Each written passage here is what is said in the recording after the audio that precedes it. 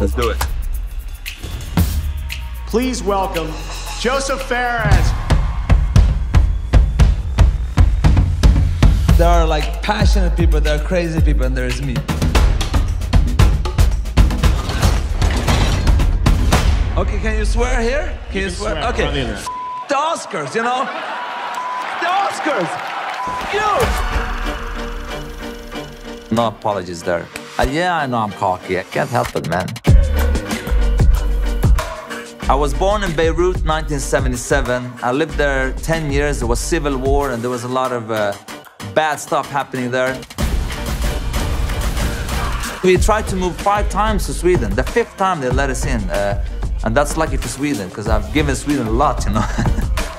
my third movie Zozo. It's basically about my life when I came to Sweden when I was young. I've done five feature movies and now I've done three games. And it's way hard to make a game. It's almost like the audience have control of the pacing of the story, while in movies it's being paced for you. In video games, there's so much to be explored from a storytelling perspective because of the interactivity. There are some studios out there that are making games that have good stories, but they pretty much have one mechanic they like reuse all the time. The designers and the story writers are, are kind of like doing two different games. That's why I founded Hazelight, to keep pushing the boundaries of what is possible in games. That's what game number three from Hazelight is all about. And action. The new game, It Takes Two, is a co-op action-adventure platformer that will blow your f***ing mind away. The story starts out with a small family. Cody, May, that's the parents, and then Rose, the little daughter. So Cody and May are about to separate. Rose doesn't want them to divorce. So she creates two dolls out of wood and clay. And these dolls magically come alive and actually controls both Cody and May. And you could say you're almost controlling their emotions. You're almost playing their emotions.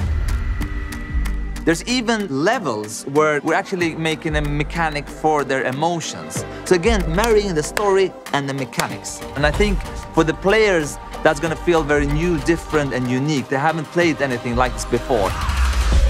It Takes Two is a crazy roller coaster ride that doesn't really have an ending. It has an ending, but that ending is that the roller coaster crashes and you fly into the sky and get up into space. And when you're in space, you're like, what the am I doing up here? And then maybe you get back to, to Earth again.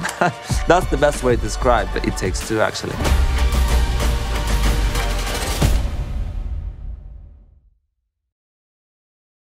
Hi, it's Lisa here with a bonus behind the scenes movie fact. Now, during the filming of The Usual Suspects, Benicio del Toro's persistent farts made for an iconic moment.